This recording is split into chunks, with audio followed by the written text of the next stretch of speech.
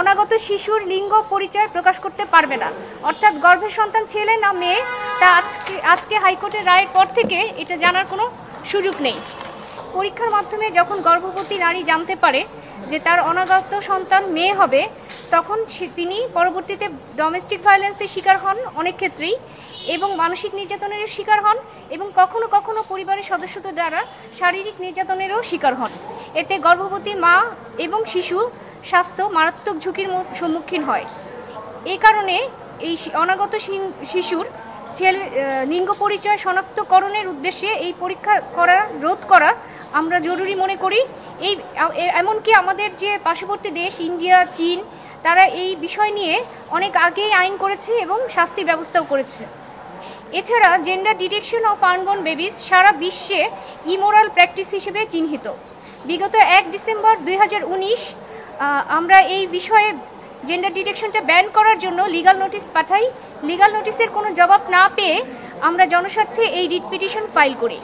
Writ পিটিশনের প্রাথমিক শুনানি শেষে দুই সালে তিন ফেব্রুয়ারি মাননীয় বিচারপতি এনায়েতুর রহিম এবং মাননীয় বিচারপতি মোস্তাফিজুর রহমানের সমন্বয়ে দ্বৈত গঠিত দ্বৈত বেঞ্চ রুল ইস্যু করে।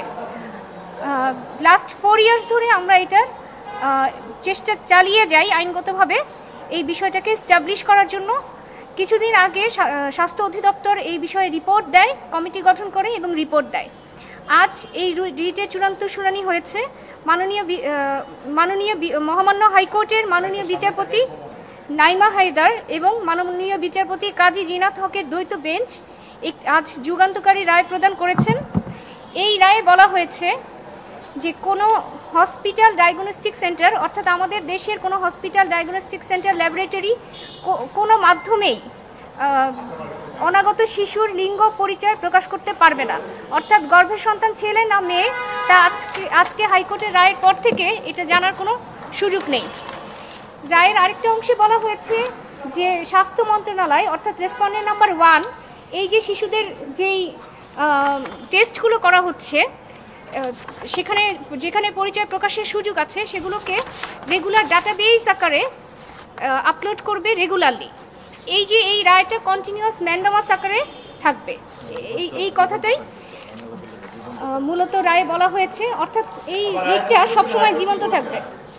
রায়ের পর্যবেক্ষণে হাইকোর্ট বলেছে যে কোনোভাবেই শিশুর লিঙ্গ পরিচয় প্রকাশ করা যাবে না। মায়ের গর্ভে মাতৃগর্ভে যে শিশু থাকবে সে ছেলে না মেয়ে সেটা কোনোভাবেই প্রকাশ করা যাবে না। কোনো ডায়াগনস্টিক সেন্টার কোনো হসপিটাল কোনো ল্যাবরেটরি কোনো মাধ্যমে কোনো রিপোর্ট দ্বারা কোনো চিহ্ন দ্বারা বা মৌখিকভাবে কোনোভাবেই এই পরিচয় প্রকাশ করতে পারবে না। যেহেতু এটা রায়ে এসেছে এখানে আইনগত বাইন্ডিংস রয়েছে।